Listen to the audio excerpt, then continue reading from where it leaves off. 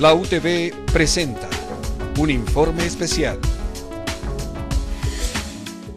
En funcionamiento el Centro de Innovación de Realidad Extendida CIRE, instancia de la Universidad Nacional Autónoma de Honduras, que se constituye en el primer centro de realidad virtual y aumentada a nivel regional y cuyo objetivo es brindar soluciones de aprendizaje y de formación a docentes y estudiantes en diseño y modelado 3D, desarrollo básico y avanzado, programación y animación, es decir, para quienes desean crear proyectos a través de la tecnología. Centro de Innovación de Realidad Extendida, pues dentro de su programa y el proceso de, la estrategia que sigue es prácticamente realizar esa transferencia de conocimiento, ¿verdad? A toda lo que es la comunidad universitaria, en este caso a los estudiantes, eh, a los docentes, y tenemos un acercamiento a la industria para poder potenciar todos esos procesos, ¿verdad? De transferencia de conocimiento y esa transformación digital en lo que es el desarrollo de productos y servicios que ellos mismos desarrollan.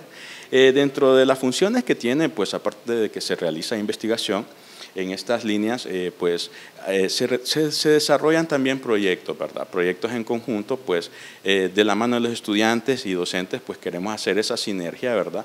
de poder trabajar muchos de los espacios de aprendizaje donde ellos pues desarrollan sus actividades del día con día y pues detectar esas oportunidades de mejora. El coordinador del CIRE, Jorge Esquivel, destacó que con este programa se pretende transformar la forma en que las personas adquieren los contenidos y aprenden a través de experiencias utilizando tecnología de realidad virtual o aumentada, y la cual tiene como objetivo acelerar la curva de aprendizaje.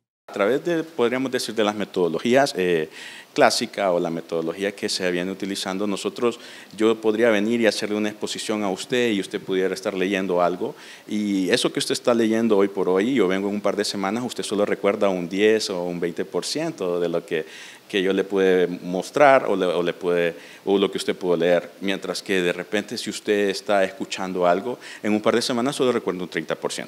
Mientras que con esta metodología, porque es inmersiva, eh, y que trabaja con la parte de la experiencia, porque el cerebro aprende a través de las experiencias, podemos lograr eh, la fijación de ese conocimiento hasta en un 90%.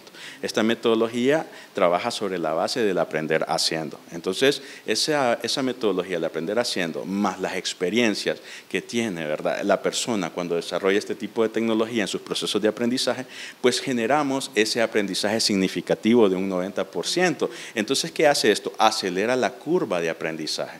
Entonces obtenemos eh, este tipo de información que se convierte en una, información y un conocimiento significativo tanto en las personas que utilizan este tipo de metodología y tecnología.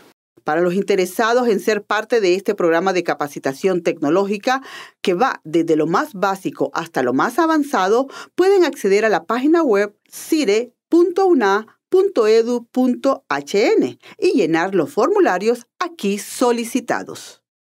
Nelly Flores, UTV. Este fue un informe especial de la UTV, voz e imagen de la Universidad Nacional Autónoma de Honduras.